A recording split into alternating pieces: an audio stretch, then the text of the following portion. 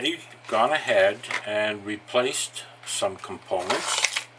I can show you these ones which are coupling and death capacitors, bypass capacitors, the uh, ratio detector filter capacitor, if that's what you call it, and a resistor that was fine except that when I took it off the uh, uh, filter capacitor uh, lugs, it was too short to use. So I replaced it. Um, the chassis, I've added a polarized plug. We can show that there. And I added a fuse holder which is there. In this corner here. Oh, that away. Right here. And it is the power cord has now been rewired to the switch whereas the hot side uh, or the non-neutral side of the power cord comes in to the fuse and then it goes out of the fuse to the switch and then back to the rectifier uh, plate circuit and the filament chain. The neutral side, the side with the wide lugs, has been brought in right to the chassis and I think I explained before that this chassis is right at line potential which originally as wired would make it a huge shock problem. The can of filter capacitor uh, which is chassis mounted and underneath there. Uh, the lugs have just been removed and I put in a tie strip and added the resistors and the three filter capacitor replacement filter capacitors thus and everything is ready to go. Now I have I'll power this up. I've had it running just to verify that there were no flames and smoke coming from it. And I found that the performance of the F FM was very bad. And I noticed something else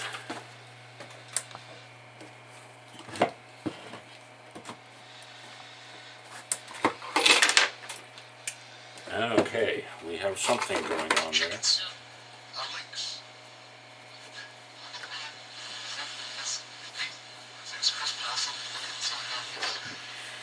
Their um, FM IF alignment was really bad. And I couldn't understand why that was so poor in sensitivity. So I did twiddle the IF adjustments.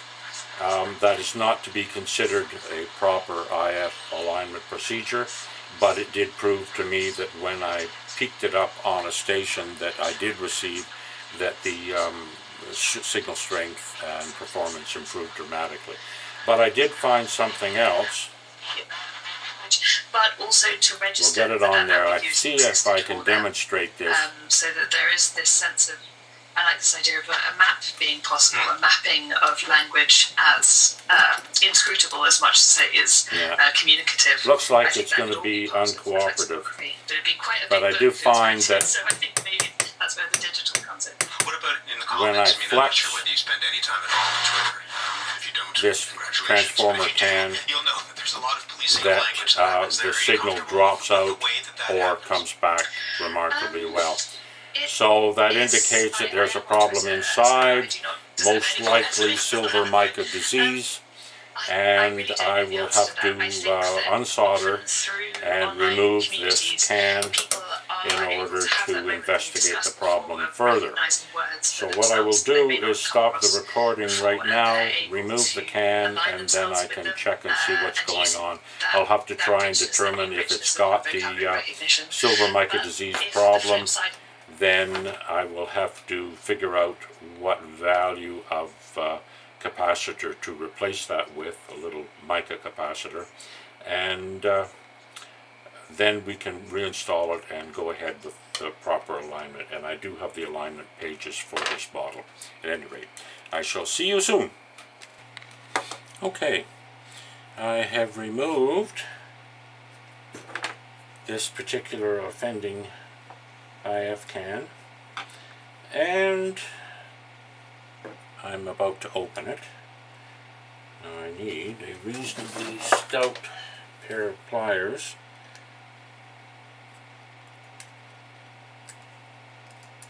to push these tabs back. I have marked where it goes in there and there into the can. I've also marked the chassis top and bottom. Now we'll see if we can't get this out without damaging anything.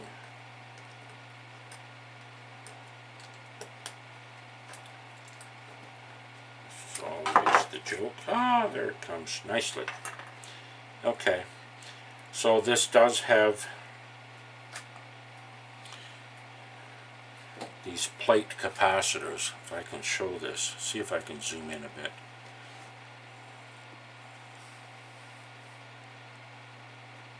That's not going to focus. Let's back it up a bit. There we go. Now these plate capacitors are here and here. If I can show that better. There, how's that? it's hard looking in the monitor and figuring out where you're going. Okay, these, they're already black with migration. They're supposed to be clear. I believe that is, well, I don't know whether that's part of the manufacturing process or not. But at any rate, that should be the problem. I see no problem with soldering or anything else on here. So what I can do now is to remove the coils and check the capacitor there for value. So I shall do that right now. I think the easiest thing for me to do is just snip that and move it out of the way pardon my noise. Okay. Where are we? We're not even in shot here. Ah. Okay. Let's bring that back a bit so everybody can see. And we'll see if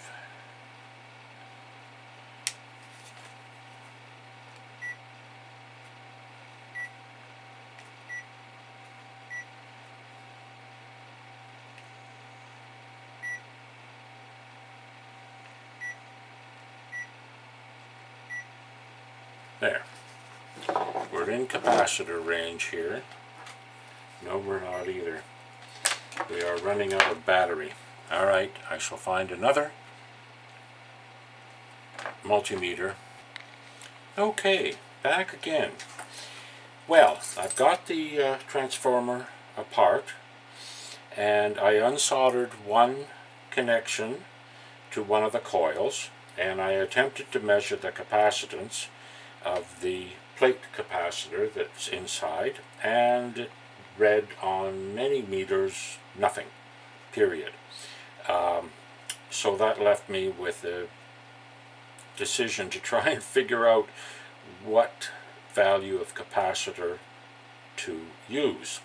Now I went online you know Google is your friend and I checked a few sites to see what other people have found and the consensus was for FMIF generally 22, 25, 27 picofarad would uh, allow the uh, IF transformer to be tuned to 10.7 megahertz.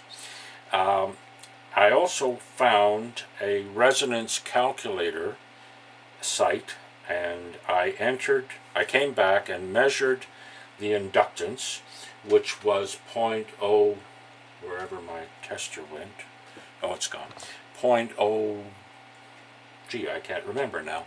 The uh, At any rate, I entered in the measured inductance of the coil and inserted 10.7 megahertz for the required frequency and did a calculation and it came up with 22 point something something uh, picofarad in value of capacitor. So that's sort of in line with what was used on various uh, old radio sites. So um, that's what I'm going to use. I hope I have something relatively close in stock. Otherwise, it'll be a delay while I order parts. I thought I would show you what came out. See if I can... Whoop, wrong way. Okay. These are the pieces that I took out. And it consists of two top plates, which are those, and I sliced up the mica insert because it was actually as part of the manufacturing process it was inserted before the coil assembly was put in there and so I couldn't just lift it up so I sliced it and pulled it out in pieces as, as you can see there is what looks like a lot of uh, silver migration onto these mica pieces, which at the edges, they're transparent. You can see mica is that way. And then you can see the other areas where it's dark. I believe that's where the problem is. So what I'm left behind with is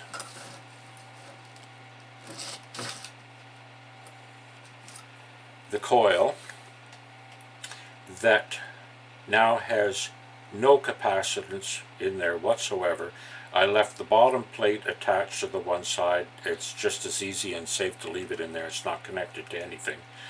And the mica, as I said, has been removed.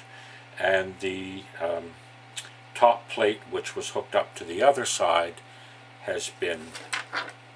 Actually, what I did was I lifted it up carefully. See if I can zoom in.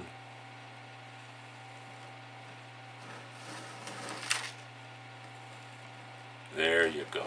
That's a better one. Okay. So the one plate is left there. The other plate has been removed from that post and what it was, it sandwiched that mica piece in between and due to the thickness of the mica I presume and the size of these plates produced the approximate uh, capacitance that was needed to tune these coils to 10.7 megahertz. So now I have to reassemble this very carefully, put it back in, and what I will do, uh, what I've done once or twice before with FM silver mica disease repairs on these IF transformers is just find a suitable capacitor and put them across the primary and the secondary and then I can continue with the uh, alignment. If I have particular problems getting it to peak, then obviously my choice of capacitors will have to be altered. But we shall see. I had very good luck. I had an Electrohome console stereo chassis that I, for uh, a customer, I did an extensive um, repair, restoration of it, only to find that when it was completed, that the FM did the same thing as this. It didn't have rushing, crashing noises showing arcing. But what it did is it had very poor performance, and when you twisted the lugs or the case, the can for this, uh, the signal would get stronger and get weaker, which indicated that the problem was there. And I found capacitors and I put them in and I could align it and everything was fine. The customer left very happy, and so was I, that it actually worked. Okay, I shall put it back in the case and then we'll go looking for some capacitors that would be suitable. See you soon.